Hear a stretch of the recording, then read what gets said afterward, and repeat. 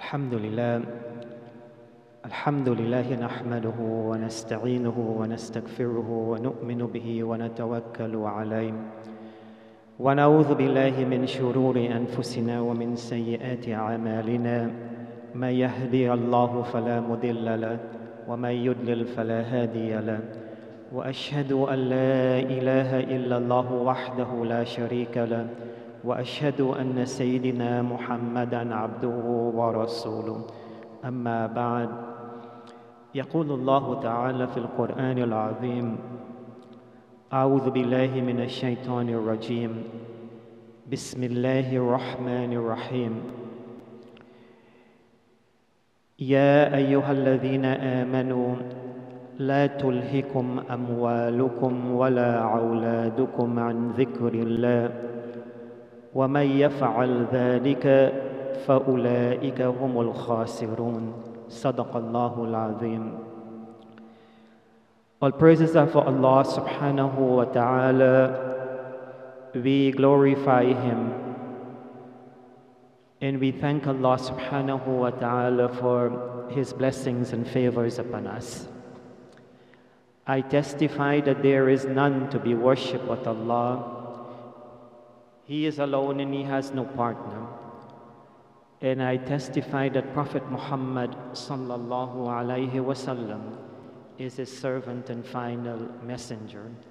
Ibadallah, my dear brothers and my dear sisters, Allah subhanahu wa ta'ala addresses the believers in the Quran and remind us as believers that we are not to make what He has blessed us with a source of uh, uh, deviation from the true path.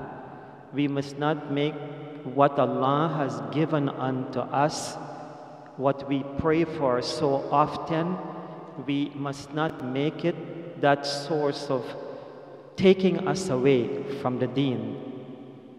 Allah subhanahu wa ta'ala says, O you who believe, O people of faith, لا تلهكم أموالكم ولا أولادكم عن ذكر الله Do not make your wealth and your children divert you from the remembrance of Allah subhanahu wa ta'ala. These are two things that we all pray for. We, we pray for resources. We, we want the bounties of Allah subhanahu wa ta'ala. And whether it comes in the form of money or knowledge or other things, it is still what we pray for and we ask Allah subhanahu wa ta'ala for. And every couple, when people get married, they, they want to extend and enlarge their families. And so they pray for children. In Muslims, they pray for pious families, pious children.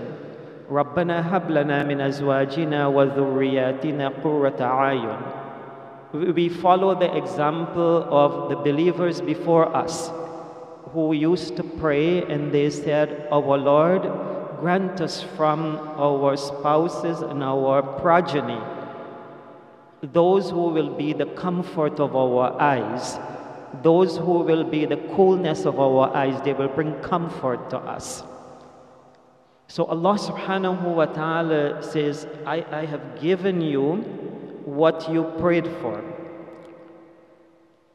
And do not allow my blessings to prevent you or to divert you from the remembrance of me, remembrance of Allah subhanahu wa ta'ala. And then Allah subhanahu wa ta'ala follows it up and says, فَأُولَٰئِكَ هُمُ ال... وَمَن يَفْعَلْ ذَلِكَ فَأُولَٰئِكَ هُمُ الْخَاسِرُونَ And whoever allows the blessings of Allah subhanahu wa ta'ala to take them away from the worship of Allah subhanahu wa ta'ala, they are certainly from among the losers. And we often talk about winners and losers. We all want to be winners. We want to be blessed with paradise, Jannah, and Jannatul Firdaus when we leave this world. Look at another verse in the Quran where Allah subhanahu wa ta'ala he talks about these same two bounties, and he says how it can be a source of tremendous reward for you. Allah subhanahu wa ta'ala says in the Quran, يا أيها الذين آمنوا هل أدلكم على تجارة تنجيكم من عذاب أليم تؤمنون بالله ورسوله وتجاهدون في سبيل الله باموالكم وانفسكم ذلكم خير لكم ان كنتم تعلمون Allah subhanahu wa ta'ala says let me O people who believe let me invite you to a trade a business that will save you from a severe chastisement. Tunjikum min adhabin alim. Allah subhanahu wa ta'ala invites us to believe in Him, form belief, and to believe in His Prophet Muhammad sallallahu alayhi wasallam. And then the same two bounties, Allah subhanahu wa ta'ala says in general, make sure that you use the resources that Allah subhanahu wa ta'ala has blessed you with to struggle in the path of Allah subhanahu wa ta'ala. وتجاهدون في سبيل الله بأموالكم وأنفسكم The bounties of Allah, that Allah has blessed you with, make sure that you use it in the path of Allah subhanahu wa ta'ala. And so, my dear brothers and my dear sisters,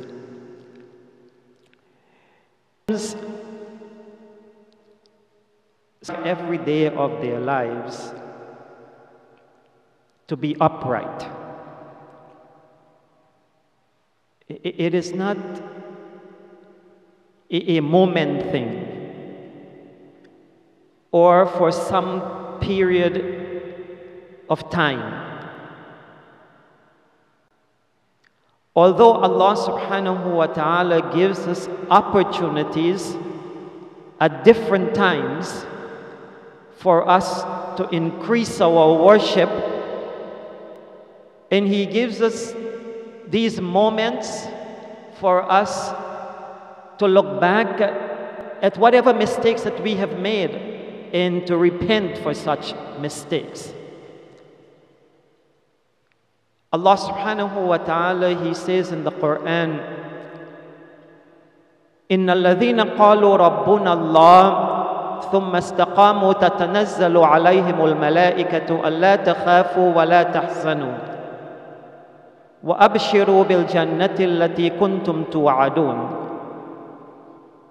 Allah subhanahu wa ta'ala talks about uprightness and steadfastness and he says verily those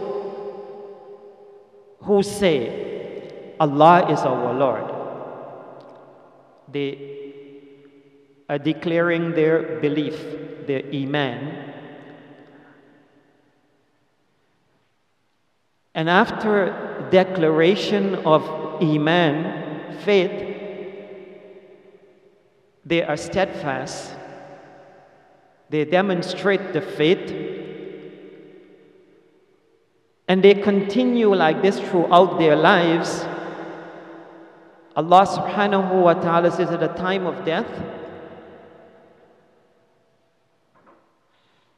when the angels come to take life, such people who declare their faith and they were steadfast, they were committed, they will be told,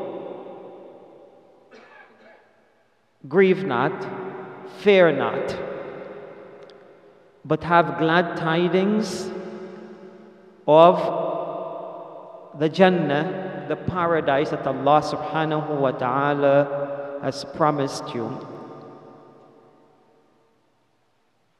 And it all goes back to faith, Iman, and steadfastness. We, we have entered a period, my dear brothers and my dear sisters, that Prophet Muhammad sallallahu alaihi wasallam he made dua and he said to Allah subhanahu wa ta'ala Allahumma barik lana fi Rajab wa Sha'ban wa balighna Ramadan O Allah, bless us in the month of Rajab and in the month of Sha'ban and give us the opportunity to witness the month of Ramadan.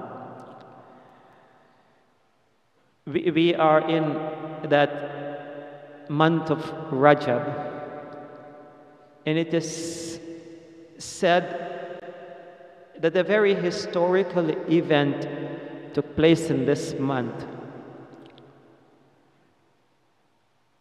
The Prophet sallallahu alaihi wasallam was given a miraculous journey or that occurred during this month from Masjid al-Haram in Mecca to Masjid al Aqsa in Jerusalem, and then from Masjid al Aqsa into the heavens. It was a time, that period was a, a very sad period, the period preceding this journey. And sometimes when people are sad and they are being met with challenges and difficulties, they give up, they lose faith. And this istiqamah, the commitment, the dedication is not there anymore. And so Allah subhanahu wa ta'ala rewarded or, or in, in, in some way showed us that the Prophet sallallahu alaihi wasallam he did not lose hope and he did not give up. And so Allah subhanahu wa ta'ala took him up and gave him something that would bring more solace, more comfort, more peace of mind, more tranquility. He gave him salah. And so, my dear brothers and my dear sisters, as we reflect upon this, these times, I want to remind you and remind myself that Allah subhanahu wa ta'ala has blessed us with tremendous resources.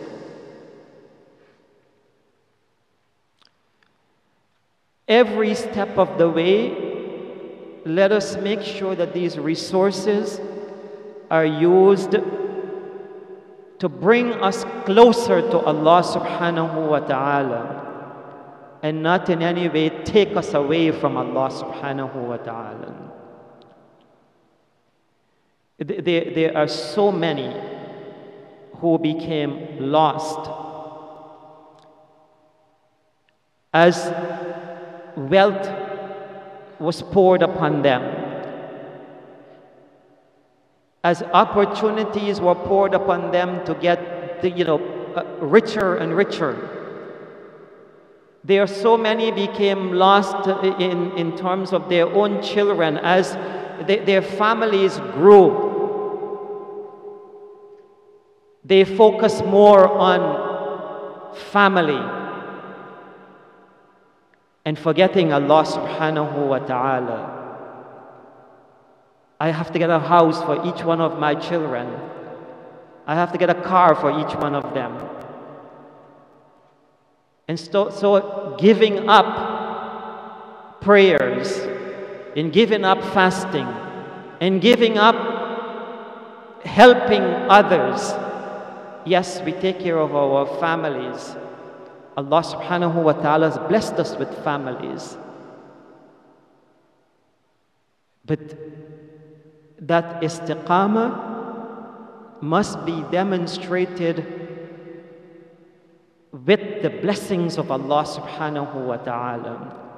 Do not لا تلهكم أموالكم ولا أولادكم عن ذكر الله.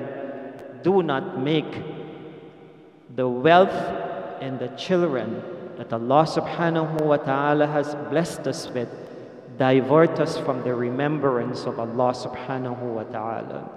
A Muslim looks to excel a Muslim looks to, to, to do more. In Allah katab al ihsan ala kulli shay. Verily, Allah has written perfection for everything. And so you want to do more with regards to your prayers. And you want to do more with regards to your fasting. Not only the, the, the obligatory fasting, but you want to fast optional fasting. You want to do more with what Allah has blessed you, so you don't only give zakah because it is incumbent upon you, but you look at the optional charity and every opportunity that you have, you look to help others. This is how a Muslim looks at life. When it comes to what Allah has blessed us with. It is tremendous. We can count the blessings of Allah subhanahu wa ta'ala. وَإِن تَعُدُّوا نِعْمَةَ اللَّهِ لَا تُحْصُوهَا And if you were to try to count the bounties and favors of Allah upon yourselves, you will never be able to count them. And so, my dear brothers and my dear sisters, as we reflect upon these times, especially the, the month of Rajab, the month of Sha'ban, and the month of Ramadan, and we plan for what we would like to do as we approach the month of Ramadan. Let us remember that it doesn't matter what happens. Don't lose hope. Hold on to your faith. Demonstrate commitment and dedication. And always look for a better day a better tomorrow. Look for excellence. How did, how did I do with my salat today? How did I do with my interaction with people today? Was I angry, upset? We, we reflect and we try to make sure that we are the true Muslims that we ought to be. Those who submit their lives to the commands of Allah and the traditions of his Prophet Muhammad sallallahu alaihi wasallam. My dear brothers and my dear sisters, Allah invites us to a beautiful trade, a business transaction, one that never fails. In business, there are times when we will prosper and there are times when we might fail. The business that Allah invites us to is that business that never fails. You believe in Allah and you believe in His Prophet Muhammad sallallahu alaihi wasallam and you strive with your wealth and yourselves in the path of Allah subhanahu wa ta'ala, Allah has promised us Jannah, Allah has promised us forgiveness, Allah has promised us that He will save us from the fire of hell. May Allah subhanahu wa ta'ala help us to be true believers. May Allah subhanahu wa ta'ala help us to be those who, from among those who submit completely to the commands of Allah subhanahu wa ta'ala. أقول قولي هذا واستغفر الله لي ولكم ولسائر المؤمنين والمؤمنات من كل ذنب فاستغفروه إنه هو الغفور الرحيم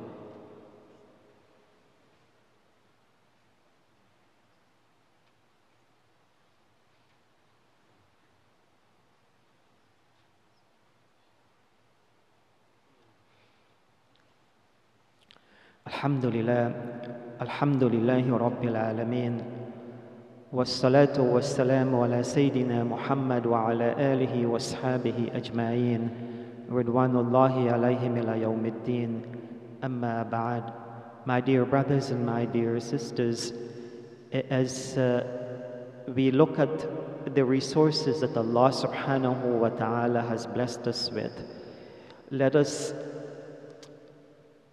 continue to demonstrate what it means to be Muslim. And so, as we have entered this period where Prophet Muhammad has prayed, "O Allah, bless us in this period, Rajab and Sha'ban, and give us the opportunity to witness Ramadan." let us look at strengthening our faith. And so, be more closely attached to the book of Allah subhanahu wa ta'ala. If you have wronged yourselves in any way, turn to Allah subhanahu wa ta'ala and seek forgiveness. Repent. Like Prophet Muhammad sallallahu alaihi wasallam, he said he used to ask for forgiveness 100 times daily. Let us protect our prayers, our salat. If we have the ability and we are able to help others make a difference in society, help others. And look at not only yourself, but look at protecting yourself, myself, and our families. That's a responsibility that Allah has given unto us. يا أيها الذين آمنوا لا تل... يا أيها الذين آمنوا قوا أنفسكم وأهليكم نارا O you who believe, we are all believers in Allah subhanahu wa ta'ala. Save yourselves and your families from the fire of hell. So when I say get closely attached to the Quran, it is not only for us to be attached, let our families be attached to the book of Allah. When I say that if you have erred, let's sit with our families. If they have erred, let us together repent to Allah subhanahu wa ta'ala. Protecting our salah, it is not only for us. We need to give advice. Let us pray with our families. Make sure that they are doing everything possible to help them to be saved from the fire of hell. And there are so many who get caught up by doing things alone. And sometimes uh, the families can't relate to it. If you're helping people, it's a good thing. Encourage your families to, to be with you while you're helping others. Let your children see it so it will mean something to them. And so, my dear brothers and my dear sisters, let us all work together to maintain our faith, to protect our faith, and to keep our faith, uh, you know, to keep, to be committed and dedicated with regards to our faith. May Allah subhanahu wa ta'ala forgive us and have mercy upon us. And we ask Allah subhanahu wa ta'ala to continue to bless us with, his, with all the resources that we would like in life We ask Allah subhanahu wa ta'ala to increase us and to grant us more so that we can do more in His way.